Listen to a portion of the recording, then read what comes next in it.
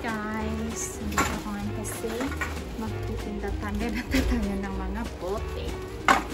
So, ito yung uh, ano ba ito? Uh, machine.